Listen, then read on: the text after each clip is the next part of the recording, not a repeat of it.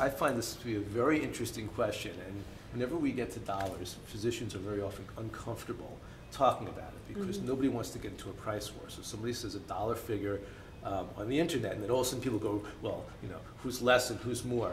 And sometimes you get what you pay for, so sometimes a lower price service is lower price for a reason, um, although I guess not, not all the time.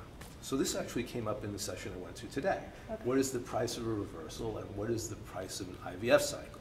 So again, I can only talk about the prices that I know. There may be other sources of information.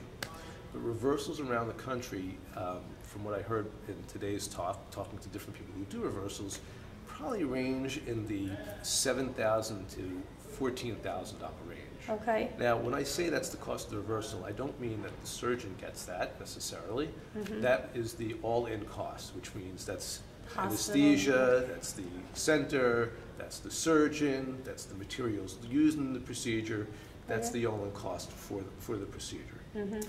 Um, IVF cycles, and I cannot comment across the country, but I can say in New Jersey, where I practice, the least expensive is probably around ten thousand.